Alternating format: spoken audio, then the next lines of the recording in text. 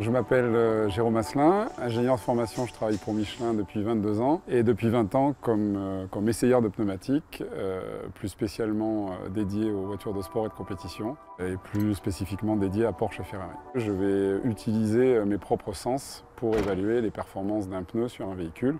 C'est par le résultat de mes essais euh, qu'à un moment donné, on va décider ou non euh, de sortir euh, un pneu sur le marché et de considérer qu'il vraiment répondra aux attentes du consommateur. On instrumente aussi les voitures lorsque je réalise des essais.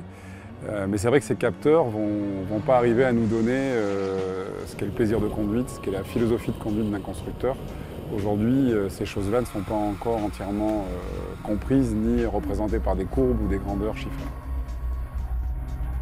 Je vais conduire donc comme en compétition, c'est-à-dire que je vais me placer sur la trajectoire idéale et aux limites d'adhérence données par le sol et les pneumatiques.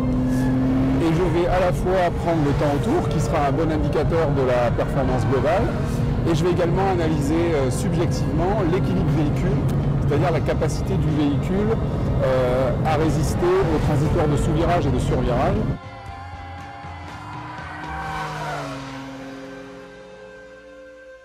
On génère moins d'accélération latérale et de lacet de par le train avant. Et du coup, ce retard arrière, il est compensé. Olivier, il me demande de, tester les produits qu'il développe euh, dans le but euh, d'être homologué chez un constructeur ou de sortir une gamme sur, le, marché.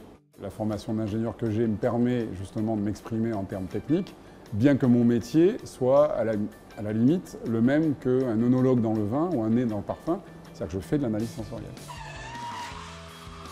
En ce qui concerne mon parcours, donc, je suis rentré chez Michelin euh, donc après une école d'ingénieur. Évidemment, tout de suite, j'ai demandé à être essayeur. Euh, donc ils ont fait exprès de ne pas m'y mettre tout de suite et c'était une bonne chose. Au bout de deux ans, je suis rentré au service d'essai. La formation au métier est très longue, euh, elle est entre deux et trois ans, puisqu'on n'embauche pas des gens qui sont anciens pilotes de course hein, pour faire le métier d'essayeur. Donc j'ai appris toute la conduite et le pilotage chez Michelin. Même si de loin ça paraît un métier fun, c'est un métier extrêmement sérieux et qui demande beaucoup de rigueur, euh, beaucoup de concentration. Euh, on n'a aucun droit à l'erreur.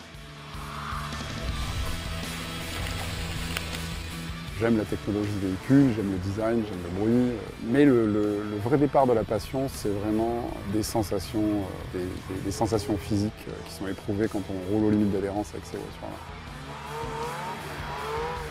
Le vrai privilège de ce métier, c'est pas de conduire les plus belles voitures du monde. Hein. Le vrai privilège de ce métier, c'est euh, finalement pouvoir assouvir sa passion dans son métier.